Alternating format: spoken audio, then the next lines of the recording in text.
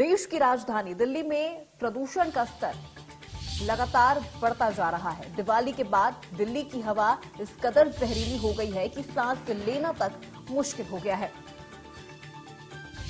पटाखे जमकर चले और अभी ये अंदेशा जताया जा रहा है कि प्रदूषण का स्तर अभी और बढ़ सकता है।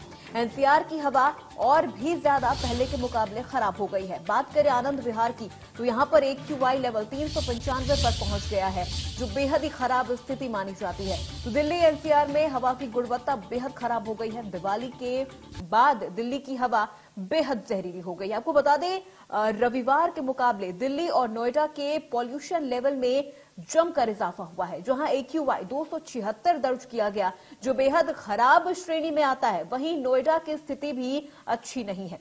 यहाँ भी एक क्यू वाई तीन रिकॉर्ड किया गया है। अंदाज़ा लगाया जा रहा था कि दिवाली के शुरू होते ही दिल्ली एनसीआर में प्रदूषण का लेवल काफ़ी तेज़ी से बढ़ेगा और इसका असर अब दिखने भी लगा है। अगर दिल्ली एनसीआर में दिवाली की रात पटाखे जलाए जाते हैं तो प्रदूषण का स्तर और भी देखा जा सकता है और भी ज़्यादा बढ़ सकता है। वहीं देश के कई राज्यों में खरीफ फ़सलों की कटाई का समय चल रहा है। ऐसे में दिल्ली एनसीआर के क्षेत्रों में धान की पराली जलाने पर भी स्थिति बेहद बिगड़ सकती है। फ़िलहाल किसानों को अपने खेतों में पराली न जलाने की सलाह दी गई है। आपको बता दें कि दिल्ली में पटाखे जलाने पर पाबंदी लगाई गई थी। इसके बावजूद भी दिल्ली वालों ने दिवाली पर जमकर आतिशबाजी की है। पटाखे फोड़े जाने की अगली ही सुबह दिल्ली में प्रदूषण का लेवल काफ़ी ज़्यादा बढ़ गया है। दिल्ली के आसपास जगहों पर भी प्रदूषण काफ़ी बढ़ा हुआ नज़र आया है। शाम के वक्त से ही लोगों ने आतिशबाजी शुरू कर दी थी और रात चढ़ने के साथ ही पटाखों की आवाज़ और भी ज़्यादा तेज होती गई। दिवाली के बाद दिल्ली की हवा बेहद जहरीली हो गई है। बात अगर नोएडा की करें तो यहाँ पर एक क्यू वाई तीन पहुँच चुका है, जो कि बेहद खराब लेवल माना जाता है। आनंद विहार में एक क्यू वाई लेवल तीन सौ पंचानवे पर पहुँच गया है।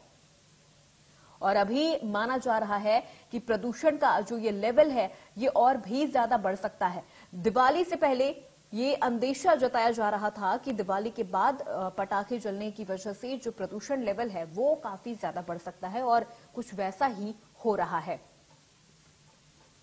तो यहाँ पर ये तीन तस्वीरें आपको दिखा रहे हैं, नोएडा, आगरा और मुरादाबाद की। ये जो आप धुंध देख रहे हैं, ये कोहरा नहीं है ये ठंड की वजह से पड़ने वाला कोहरा नहीं है, बल्कि ये पॉल्यूशन है, ये वो प्रदूषण है जो दिवाली की रात पटाखे जलाने की वजह से हुआ है। कई जगहों पर पराली जलाने की वजह से भी पॉल्यूशन लेवल काफ़ी ज़्यादा बढ़ गया है।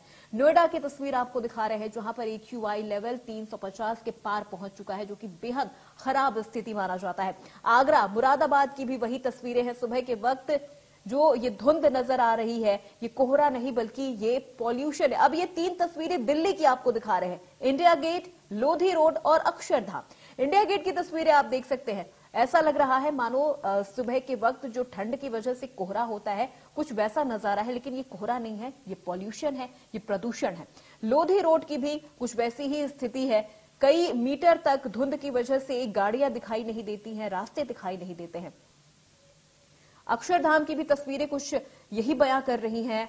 इस वक्त दिल्ली एनसीआर की जो हवा है, वो जहरीली जहरीली हो गई है। माना जा रहा है कि प्रदूषण का लेवल अभी और भी ज़्यादा बढ़ सकता है। दिवाली से पहले यह अंदेशा जताया जा रहा था कि दिवाली के बाद पॉल्यूशन लेवल और ज़्यादा बढ़ सकता है और कुछ वैसे ही हो रहा है। अभी ये छह और तस्वीरें आपको दिखा रहे हैं। पहली तस्वीर, दिल्ली एनसीआर में हवा बेहद खराब हो चुकी है। एक यूआई लेवल यानी एयर क्वालिटी इंडेक्स काफ़ी ज़्यादा बढ़ चुका है, जो 342 तक पहुँच चुका है नोएडा में। प्रदूषण का स्तर काफ़ी ज़्यादा बढ़ गया है और इससे जो एस्थमा के जो पेशेंट होते हैं, जिन्हें सांस लेने की तकलीफ़ होती है, उनके लिए और भी ज़्यादा मुसीबत खड़ी हो रही है। सांसों में ये जहर घुल रहा है। ये लोग घरों से बाहर निकल रहे हैं प्रिकॉशंस फॉलो नहीं कर रहे हैं, लोग मास्क का इस्तेमाल नहीं कर रहे हैं, जिस वजह से ये जो जहर है, ये आपकी सांसों में घुल रहा है और आपको अंदर ही अंदर काफ़ी नुकसान पहुंचाएगा।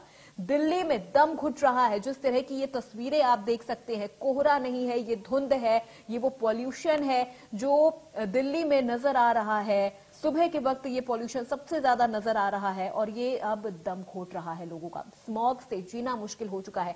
सांस लेने में लोगों को दिक्कतें आ रही हैं।